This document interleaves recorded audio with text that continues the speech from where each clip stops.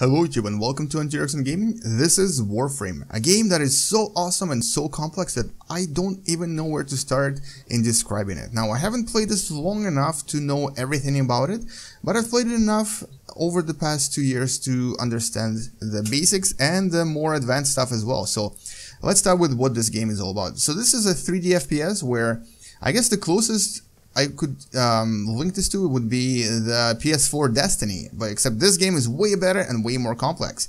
Uh, Arsenal right here, I'm gonna actually use my gamepad because it does support gamepad, uh, is where you change your um, your loadout for your Warframe. Warframe essentially means your costume and also your class. Each of these classes has a very very specific and very unique gameplay, and each of them has Do not split the dream. that's right, do not split the dream.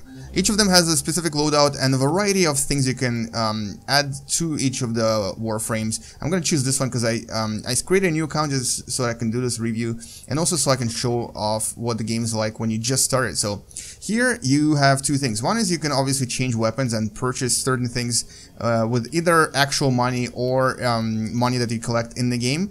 And two is that you can essentially customize almost everything. You can customize uh, your look, you can customize your Operator, you have remembered well. Additional- how to arm themselves. Thank you. Uh, additional modifications. And once you're ready to go, you basically start the game. You choose a mission and you jump in. Now, over the past two years, um, since I started playing this, so many things have been added. This game even has space battles now, and I haven't tried them yet, but it's amazing how much they've added to this game. It's improved dramatically. I actually wasn't sure if this game was going to survive because it didn't have that many players when I started playing, but now on Steam there's at least 35,000 players uh, uh, currently, and I've seen something up to like 50,000 players in one of the um, one of these I looked in. So this game is pretty popular and um, it's absolutely free to play. That you don't really need to buy anything unless you actually are planning to uh, commit a lot of your time to this. And uh, if you do commit time, you may want to, you know, support this game by purchasing some of the more advanced weapons. Even though this is not pay to win at all, it's actually relatively uh, easy to, to get and advance without paying anything. Uh, what I was to say, to get weapons and advance. Um, all right, so let's uh, let's choose a mission, and we're gonna go into I guess level one too, because all of the other missions are I'm not really strong enough for them yet. And I'm gonna choose. All right, let's choose this mission right here. This is an active mission we have right now. And uh, so each of these planets that's unlocked to you have submissions and levels that you can go through. And uh, the way this game works is um, essentially you either play alone or with a team of players and complete these various quests and various um, levels that are completely randomly generated. Now this game has a little bit of a grind to it, but it also feels it also has a bit of a oh hi breaking through. I see the shadows of your mind. Good for you buddy. I'm actually gonna switch to my keyboard for now because i'm using a gun. Um, i usually play with a gamepad when i have when i have when i have my sword equipped. Here we go. Uh, the, the gameplay is amazing. Um, both fps concept and um, melee combat are really really fun. Uh, I'm actually let's see let's see if I can just shoot with my gamepad because my gamepad keeps vibrating in the butt. Uh, and uh, let's switch to our katana.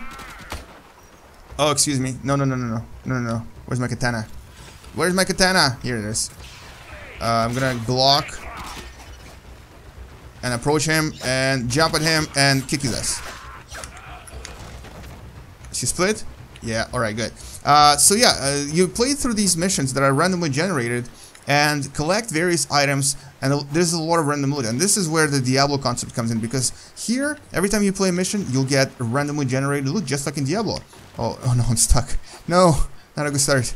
Um, the other thing this game has is, well yes, so there is a loot grind which is a thing but if you if you love this kind of stuff, that's uh, something that you may want to appreciate in this game because there's a lot of loot here.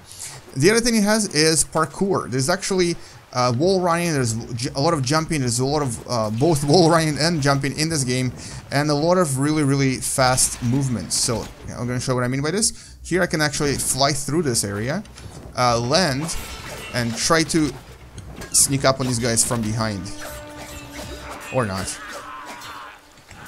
There we go. He lost his arm, and now he's gonna lose the rest of his body. Um, so gameplay is super fast, very dynamic, very, very, very fun. I think this is probably the most fun I've had in a um, 3D multiplayer game ever. Not to mention, uh, you know, other games I've played. Uh, and the fact that it's free and so complex really makes me wonder why more people don't play this. Because, you know, everyone knows about Destiny. Everyone knows about some other um, popular RPG or, or not. I guess this is RPG game because there are levels here, but popular FPS RPG games was, uh, is what I was gonna say.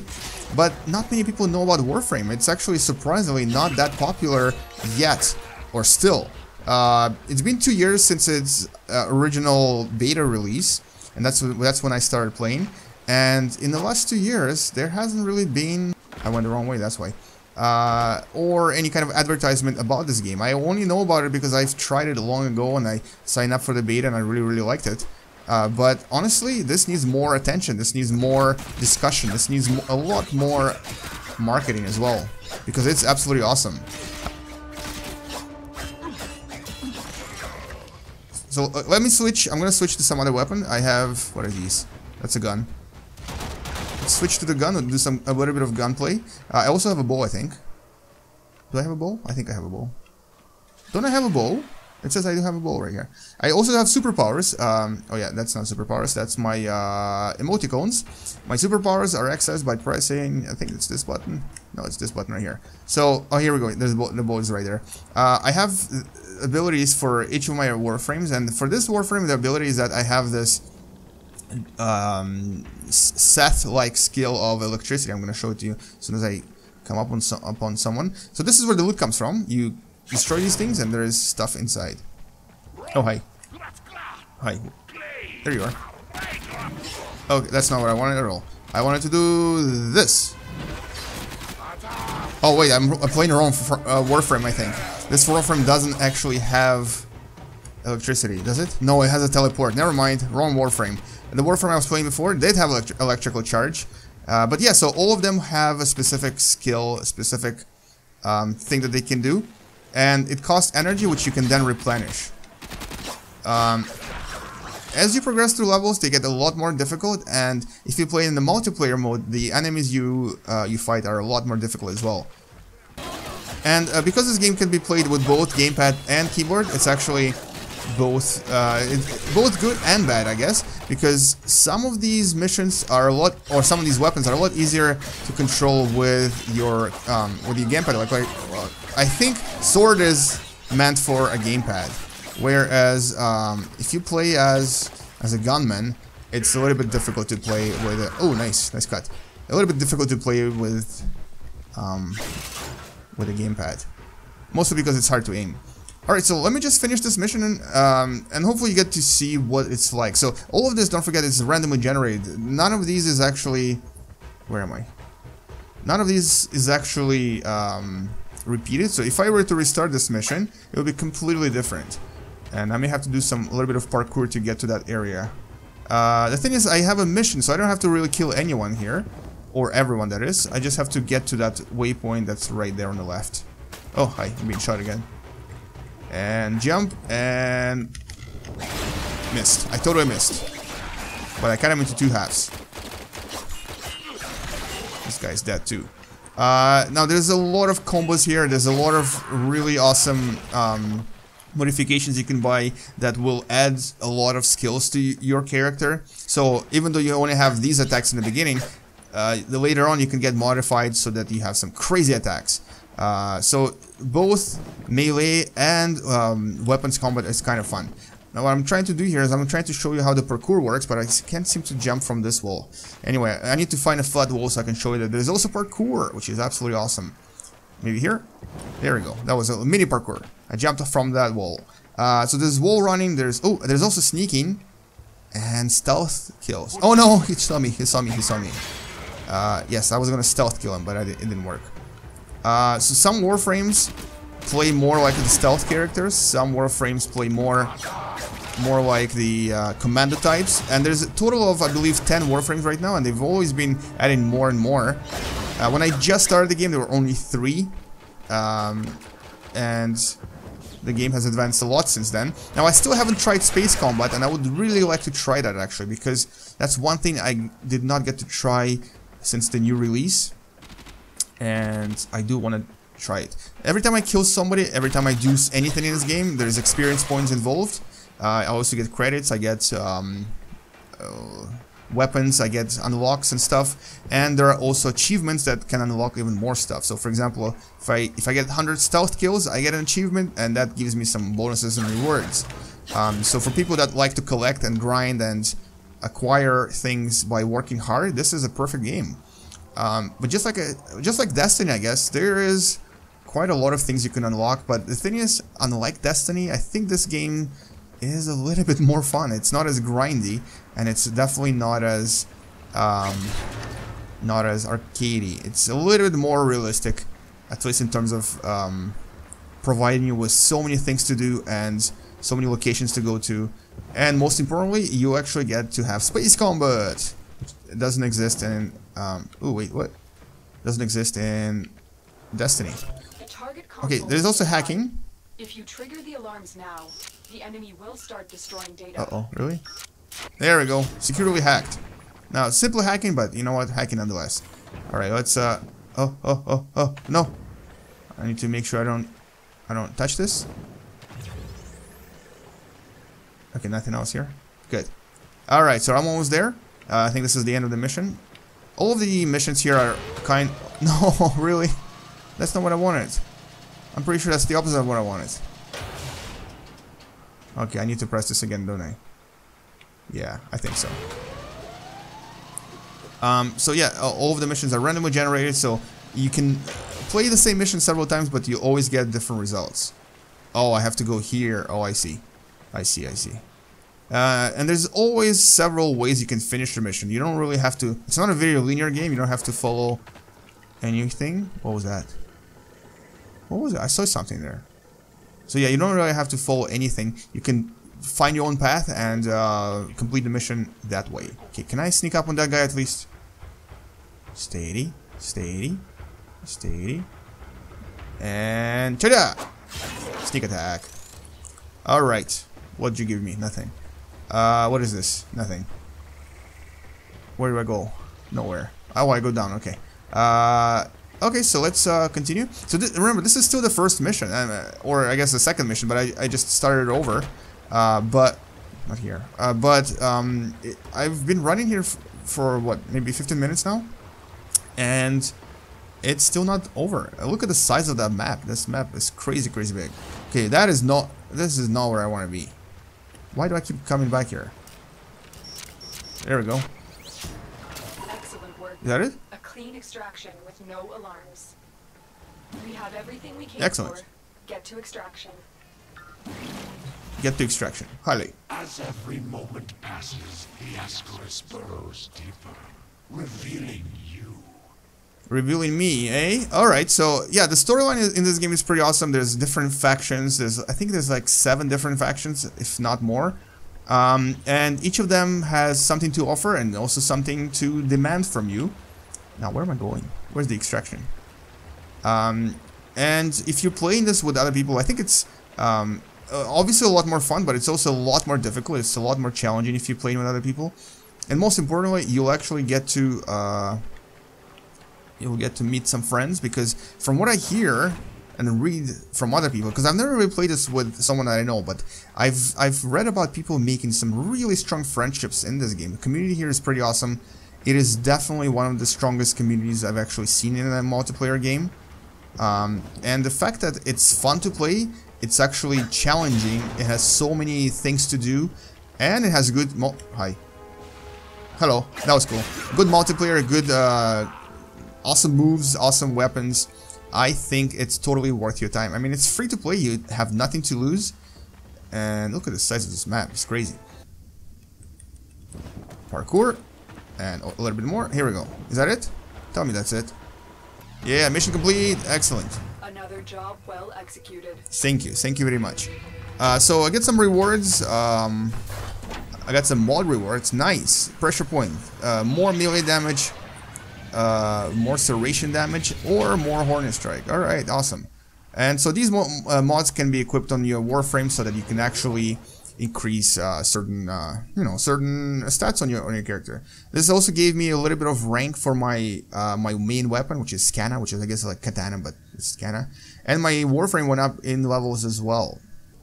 And here's actually a proof that uh, there's quite a lot of people playing this because I just got invited into a game by one of these people and they said uh, let's play together and so yeah not difficult to find people to play with uh, but before I joined that game I just wanted to show you that um, you can actually just purchase a lot of the equipment right off the bat if you just spend real money. Some of it is experience locked because it's only unlocked when you level up, and some of it, like look at how many weapons there are.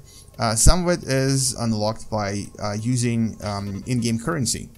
Uh, lots of different primary and secondary weapons, and most importantly, look at how many different frames are available. I was totally wrong about only being 10. I think it's way more than 10 because look at that. All of these are um, frames you can purchase and play as. So that's pretty awesome. Um, I think this is the one I was playing as before, Volt. I don't know why it's locked again, but on my other account, I guess it's unlocked. Uh, you can also have one of these companions to float around next to you and kind of give you a bit of bonuses as well, but these guys also cost a little bit of money.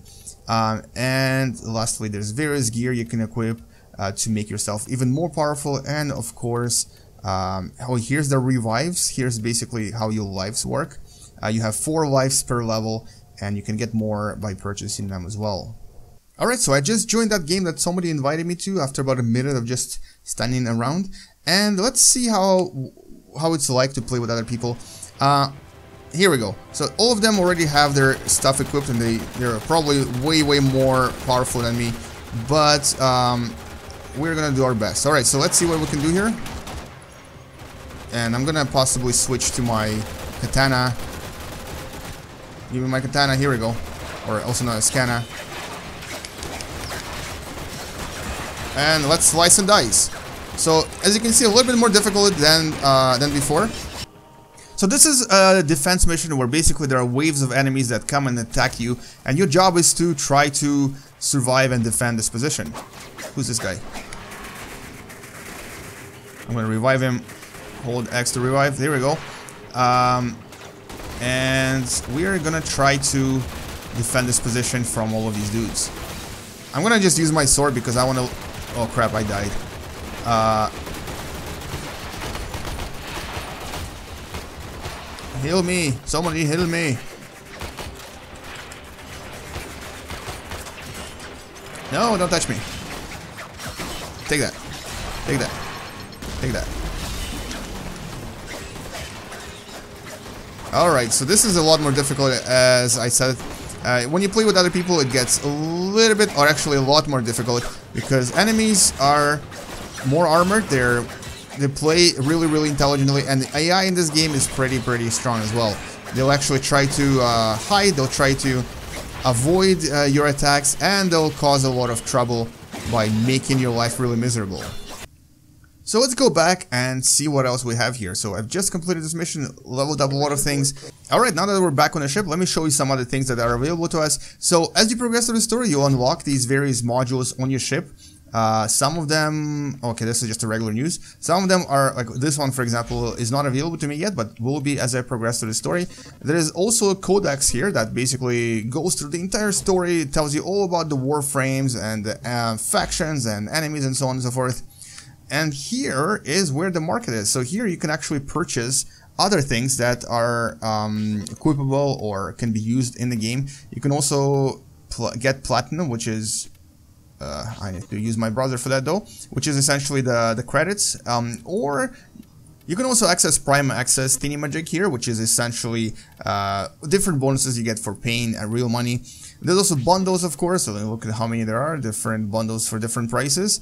Uh, various equipment that you can purchase as well, uh, including pets, and of course weapons. So if I wanted to buy a new melee weapon, I can just go in here and find hundreds and hundreds of different choices. Well, maybe not hundreds, but quite a lot. So I can actually get the dual Skana if I wanted to, which will uh, change my appearance and also change my attacks a little bit.